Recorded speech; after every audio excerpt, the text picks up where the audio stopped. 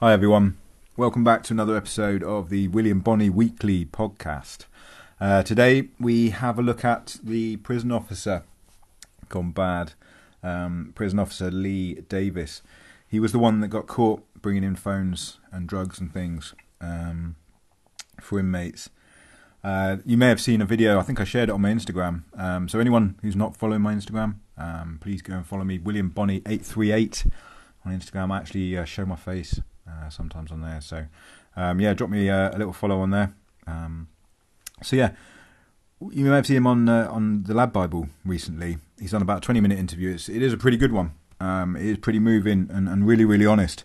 So anyone who hasn't seen that, have a look in the description um, for for that link, and also I remember, I think he did a video. I know he did a video. He's on about three, three of them, I think, um, where he talked to Sam, the ex-prison officer, and uh, uh, they're very honest, very in depth on why, what happened, and you know he goes into great detail about what happened before and after. Um, you know, doing this, uh, bringing phones in for the boys. So um, today, I just thought I'd I'd kind of react and and run through my thoughts and and what happened in this video, and you know, like I say, an inmate's point of view from from the point of inmate who who did used to have a prison officer who brought stuff in for him. You know, I when I was in Exeter looking at life, I was in there with the Scouse gang, um, and they'd already turned an officer. Um, and as they kind of you know got sentenced and moved away, um, there was a few occasions where he did bring in stuff you know solely for me. Um, I paid him. You know, we used to pay him about 350 quid a time back then. Um, you know, we're talking about 2008 you know, 2000, no, it wasn't even then. It was about 2007. Yeah, 2007, 2008, sometimes something like that. So it's about you know a week's wage um, for you know just you know shoving a parcel down your pants.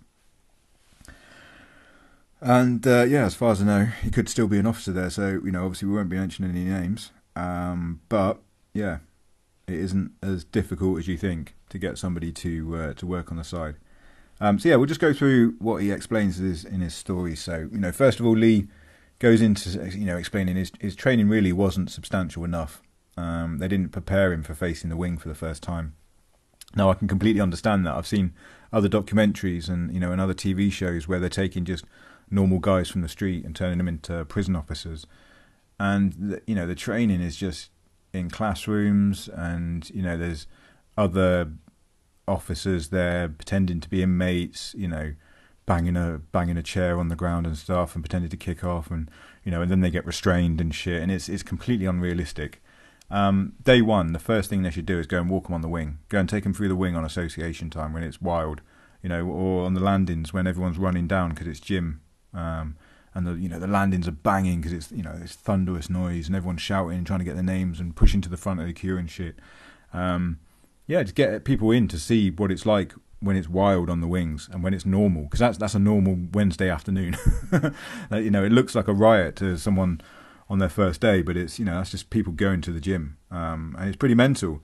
And even just you know as people come out for work and they're all shouting and you know it's it's just noise. Um, there's a lot of noise on the wing that you're just not used to and you're not familiar with, and you've got you know being a prisoner on a wing, you probably got between maybe 50 to 100 interactions before lunch.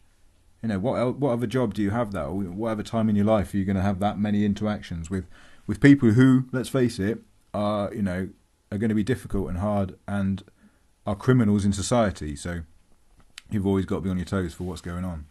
So yeah, no, no, I don't, uh, I don't, I don't envy them at all. Um, so yeah, he's, he's going into how his uh, his training wasn't any good. He ended up at Lancaster Farms, um, which is a, a YOI, which is you know for people who don't understand, it's a, it's a young offenders institute, so that holds people who are 18 to 21. Um, so in, in my instance, that'd be Portland. That's where I was, um, and it was wild there. So I don't doubt for one second that it was a pretty gnarly place to be. Um, he felt pretty scared because of the uh, the gangs from Manchester and Liverpool.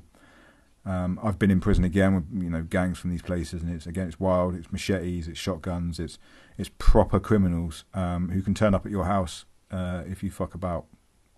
So, um, yeah, he said his first eighteen months were no problem, um, and then after that he started drinking quite heavily um, due to the stress. He said it was horrible.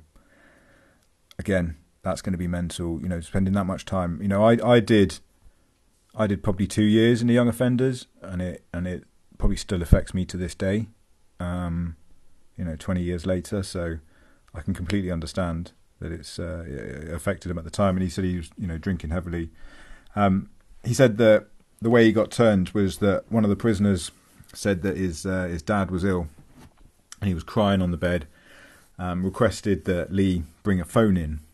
Um, and even Lee says himself at, at, that point, you know, you should have gone and reported. And that's the first thing I was thinking is, you know, you've got to go and report that. Otherwise, uh, you know, it's, it's, it's it's what's known as kind of a check. It's, it's putting your foot in the water to see what you do. Um, and uh, because he did nothing, they then kept it on. You know, carried on asking him, and then they started offering him cash. Because if you can't if you can't pull on someone's strings emotionally, then you, you have to look for their next weakness. Um, and it's either going to be cash, drugs, or women, you know, or men, or you know, little boys.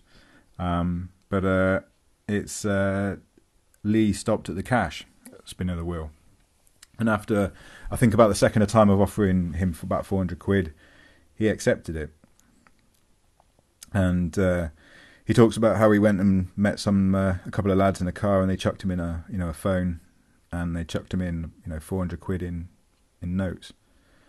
Now I've um, you know I've taken part in these kind of drug deals where they just kind of throw stuff in through the, the window and things, and that's exactly how it happens. Um, the way when we had a prison officer, we would uh, we would get stuff to, dropped off at his house. Um, you know, we would have the address, and either my associates from the southwest would take the Scousers' drugs over there, or you know, we would supply the drugs, and the Scousers would go over there and uh, and drop it off. Um, but yeah, doing stuff in car parks and that sort of shit is risky because you're bound to have some sort of fucking have a go hero who spots you when they're out bird watching or some shit. Um, now, it he said he led to him doing about a thousand quid just for two parcels. Now, can you imagine that? A thousand pounds for t- bringing in two parcels. Imagine if you just had to try and sneak something into your workplace, um, and there's no real checks. You know, there's no real stopping and searching you, and all you had to do was smuggle something in to a prison, and uh, you got a thousand pound for two parcels. That's that's the best part of a month's wage for uh, you know for fucking two mornings' work. And this is the temptation of the drugs world: is you know these you're getting large sums of money for very little work. It's very, very tempting, um, especially if in you're in the right frame of mind. So you might be feeling that life's kicking you in the nuts a little bit. You might be feeling that you deserve better. You know, you might be feeling that you've you know you've worked really hard and you're in a dead end shitty job, and then someone offers you quite a you know a lot of money for something that you can do quite easily.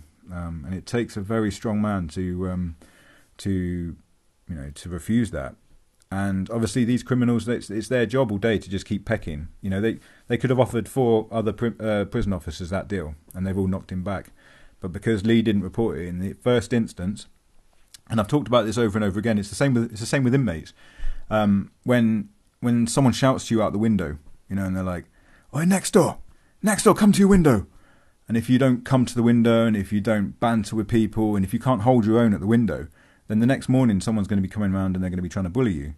Um, and because Lee, the prison officer, didn't report that in the very first instance, that's why it basically gave them a green light that you know he can be turned. Um, you've just got to work out how and why. So, yeah, he said um, he became a bit of a recluse once he started bringing in the parcels. You know, he's kind of uh, lost lost who he was, lost focus of who he was, started becoming a recluse. Didn't really see his family and friends. Um, he was saying there's no real support as a prison officer, which I can understand. Again, um, I imagine you've got to you know create your own kind of community as a prison officer. Um, you know you've got to create your own support. But again, is that going to be negatively based all around the pubs and you know just going out of going out of work and drinking, you know that sort of thing, which isn't isn't good. Um, so again, it did it, it, kind of surprised me that there was no real support for um, for them if they were feeling, you know, uh, a bit down. Um, and then one day, inevitably, as it all happens, um, you know, we've seen it in that really good documentary. No, it wasn't a documentary, was it? That really good drama series um, with uh, with Sean Bean. You know, eventually you get that tap on the shoulder and you get asked to go into the office. Um, and there's the dogs and the, the search team there. And uh, he had the parcel on him. He handed it over, and he kind of said he felt relieved, which was interesting because he must have been feeling so much pressure. He'd been doing this for a year, two parcels a week for a year. Um, bearing in mind, like I say, he got nearly a grand for two parcels, so we're talking like fifty grand, uh, fifty odd grand in cash. So if he was doing that as a job, what are we talking about? Seventy grand, seventy grand a year wage. If you're going to do that legit, who gets that? You know. Yeah, very very tempting. Um, yeah, he said he was happy it was over, and uh, he kind of felt relieved it was all done. He got obviously got arrested. Um, he went down to the, the police station. He's got the uh, you know he's still got his prison gear on, um, and the inmates, you know, the lads in the prison police cells kind of catch sight of him through the door, and they think he's a policeman getting banged up. So they're all giving him shit through the doors and stuff, which is legitimate. You know that happens if uh, you know if if one of their own gets caught. um, he was on bail for a year really got into drinking drugs, so that would explain where that extra fifty grand went. Because you know you've got to do something with that money. It's all sat there in shoeboxes. It's difficult to spend because it's difficult to spend more than eleven hundred quid in cash without it getting reported. Um, so yeah, you find it very, very, very hard trying to spend cash um, in a lot of places. Eventually, you get sentenced. Got four years. Uh, similar to me, uh, I think because he was quite late in that, you wouldn't have even had to do parole then. You would have just been getting out at the two years time. Um, now, what I found interesting, he kind of like dusted over it a little bit, um, and this is probably because if you're being honest with yourself, um, if he was being honest with himself, he knew that the prisoners absolutely hated him. The, the, the interviewer said, you know, how did the inmates feel having a prison officer amongst them? Um, he would have only been on the protection wing, and uh, if he went on the main wing, they would have killed him. So he would have only been on the protection wing, and on the protection wing, you've got rapists, paedophiles, grasses, policemen, and uh, and prison officers. You know, and so getting respect from this kind of category of prison of prisoners is, you know, it's not it's not something that you need to worry about. A lot of them in there aren't going to be starting to slice someone up because he's a prison officer, because they're in there for fucking being a nonce themselves. So it's you know there's no there's no there's no honor amongst these um the wing that he would have been on essentially. If he'd been on a main wing, he would have been killed. Um, it's uh, there's no real there's no real question about it. So, um, he tells a story that I, I, I, heard him tell to Sam as well, um, and it's a story that I've got an opinion on. So I'll, I'll tell it to you again. He's um, in the prison he's in. It's an open prison, and uh, he's working in the uh, the sort of central area where they do all the applications and shit. And he goes to his cell. Um, his cellmate is a police officer. Um, his cellmate was a bent police officer who used to steal the uh, drug dealers' sort of parcels and things you know, he'd still he'd still sort of cash and drugs um, after he'd do a bust, and and that's happened to me, and it's it's mo- so much more common than you think. Uh, one time, I had uh, CID searching my property, and I had money hidden behind the sink uh, in the in the bathroom, and uh, while I was sat on the sofa, you know, a member of CID went off into the bathroom to go and search, came out, said he didn't find anything.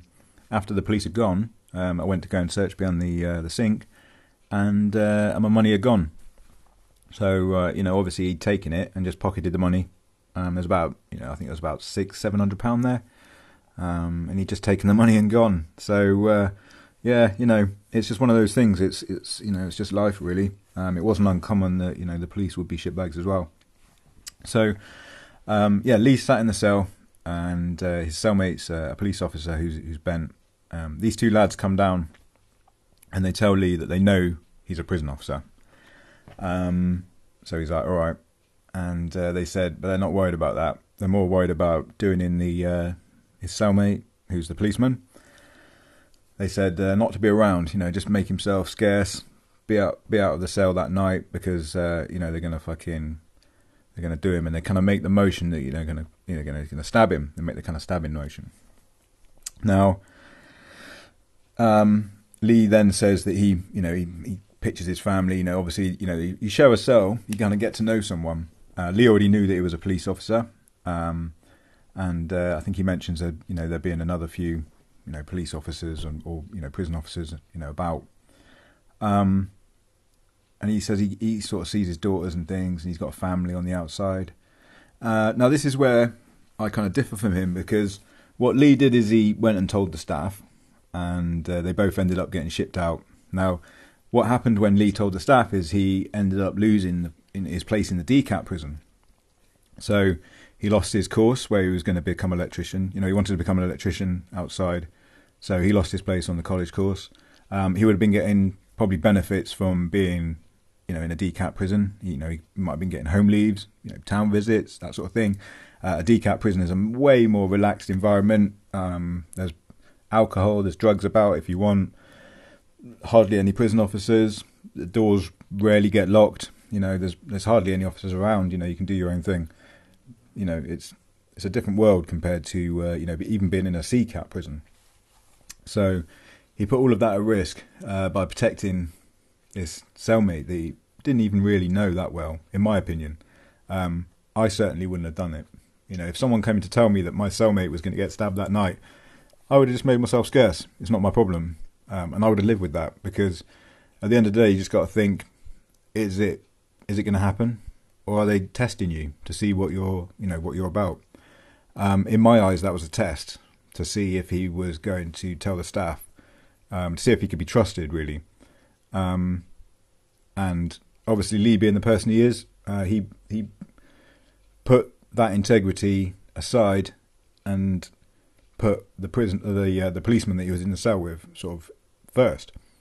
Um, in my eyes, that he's not my problem, and I don't know if he would have done the same for you. Um, I mean, talking about you being Lee, I don't know if the police officer, if they'd come to the police officer, would he have told? Would he have told Lee? Um, I don't know. That's an interesting one. Um, I'd be interested to know in the comments what you kind of think about that. Uh, me personally, like I say, I thought it was a test. I, I wouldn't have. I wouldn't have said anything. Um, I certainly wouldn't. Have, I may have gone and told the police officer. I may have told him to get his guard on and to uh, to be ready tonight. But I also would have said it's not my problem, and I'm going to be downstairs playing pool on camera, uh, making sure that it's uh, it's nothing to do with me. and I might have picked up picked up some of my valuable stuff out the cell, um, just so it didn't get fucked up. But um, yeah, it's uh, it's not something I would have got involved in, and it's and it's generally not something you do get involved in unless you know it's part of your team. You know, if he's your best mate, then you, you, you two sit in the cell, you wait, you get weaponed up. You know, you put a few magazines down your trousers to kind of work as a bit of a stab vest. Um, that's why you see inmates put a towel around their neck um, to stop any, uh, you know, to stop anybody being able to stab them around the neck as well. And uh, yeah, you get ready and you and you rumble. But yeah, it was a test to see if he would have uh, if he was going to grass, and, unfortunately he did. Um, in in Sam's podcast, he goes on to great detail to kind of tell you what happens after that. Um, in the uh, in the in the in the Ladbible episode, they kind of go to a, you know life on the outside, and and this is where me and him we kind of mirror our lives really because we both leave prison, we've both got a record, and we're both trying to make it in the world. We both try and go straight, um, and we both faced very similar um, very similar obstacles in the fact that you know if you you know if you don't declare your record, you're always running the risk of it coming and biting you on the ass and you getting sacked. And if you do declare your record, then why the fuck are they even going to give you an interview? Let alone you know there's ten people there without you know a prison record uh, going for the job. Why the fuck are they going to give you? Um, and let's face it, you got prison um, for being dishonest with your employer. At the end of the day, um, so why are they going to suddenly trust you in, in, any walk of life now? Um, so this is the fucking dilemma you have. Do you, do you declare it and definitely don't get the job, or do you not declare it and maybe not get the job? Now, from my own personal point of view, I've never declared it, um, and most of the time it's worked out. It's only been very, very recently that I've uh, uh, I lost out on a job opportunity and quite a good job op- job opportunity um, because of my extensive criminal record, um, but it's the only time it's ever held me back. Um, Lee goes on to talk about how he got into a you know a job that he really enjoyed, um, and then one day they come and get him, uh, similar to similar to when he was in uh, in the prison. He gets that tap on his shoulder, and uh, you know obviously these you know the, the work knows about his um, his criminal record and and the fact that he hadn't declared it on his applications and and you know his paperwork, so he ends up losing that job. Um, and uh, you know it's it, it, just mirrors everything. You know, going back into prison or just going back onto uh, back onto Civvy Street again. Um, you got to start from scratch a lot when you come out of prison. You know, scratch has to be your new best mate. Um, you know, you start from the bottom so many times that uh, you know you just got to get used to it. Um, unfortunately, Lee, as you know, you know, I, I, talk about in my diary podcast about being so low after being um, taken back to prison so quickly. You know, thinking about suicide and, and almost attempting it. But um, Lee actually looks like he went went through that attempt, and he was quite lucky that somebody found him, and uh, you know, and he was able to um, to pick himself back up again, and and you know, move on move on with his life, and and like I say, you know, through Sam's interviews and through this Ladbible, excuse me Ladbible interview, we've uh, you know I've managed to sort of learn a bit more about him, and um, it's a very difficult circumstance, isn't it? The, the money involved in drug dealing was was just as attractive to me as it was to him. You know, whether it be you know I used to run drugs from one town to another for for six hundred pounds at a time. You know, back earlier than this, this was kind of you know back in the early two thousands. So you know, in two weeks I was earning a monthly wage just from sitting on a train for two days out of that you know two weeks. It's so tempting um, to then just sit in the pub for the rest of the time, celebrate cocaine, beer, you know, living the life of Riley. No, no responsibilities, no bosses, and all you got to do is go and pick up a rucksack every now and then. And uh, yeah, it seemed to be a very similar to the temptation that Lee went through working in a prison, and all he had to do was go and shove a uh, a parcel down his pants, and uh, and then go and live the life he wanted to. But he ended up losing it all, very similar to I did. Lost his girlfriend, lost his other girlfriend, uh, lost his family, lost his career, and lost a big chunk of his life. Um, it took me about 10 years to get over being in prison, um, and it's still only just letting go of its grasp on me now. And it seems to have had a similar, you know, I think Lee says he, you know, it took him about 11 years to get over it all. Um, it's very, very difficult, you know, not first of all getting over that life that you live when you have tons of money and drugs and, and everything, uh, going through prison, um, but then the the difficulty of getting through life on the outside as well. So um, yeah, I'd love to know what you think. Give give his videos a watch, and uh, I know he's on on, on uh, Instagram as well. So yeah, just let us know what you think, and um, what would you do if you was in his boots and someone offered you that kind of money? Um, yeah, what would you do? like, subscribe, do everything that uh, YouTube likes, and, and come and find me on Instagram, William Bonney eight three eight. You know, it makes sense. Thank you very much. Cheers.